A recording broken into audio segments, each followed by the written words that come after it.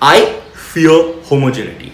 What is homogeneity? Homogeneity is when people do the same thing at a mass scale. They all become similar. They all start looking similar also. They start doing the same things together.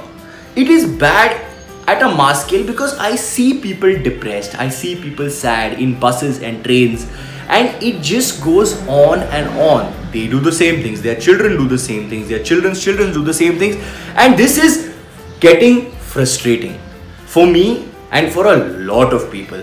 Seeing people, I feel bad for them. In fact, if you go and see uh, today an engineer and an accountant essentially do the same thing. I am not asking you to mess with your discipline. I am not asking you to be innovative when it comes to writing accounts. But at least do innovatively. See, if you do things innovatively, no matter what, if you're an engineer or even, for example, I teach martial arts uh, I teach a system. Every every martial art is some sort of system.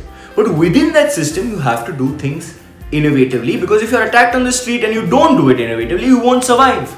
You cannot stick to the system. Similarly, in a relationship, today everyone thinks that oh, first date, second date, third date, this, that has to happen. Even in a marriage, the same things happen. No, these things have to change. See, I'm not saying don't go on dates. I'm not saying don't go on holidays. I'm not saying do do things as they are supposed to be done but do it innovatively. You can go on a surprise date you can go on a different holiday you can go on an impromptu travel. These are there are so many examples of doing things in a new way. Let's take my example.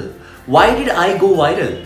Because people were bored because people are living boring lives and suddenly innovative content came by and everyone took it for a ride. They took it viral. So it's as simple as that the only reason you need my exist- existence, the only reason you need my entertainment is because you are bored.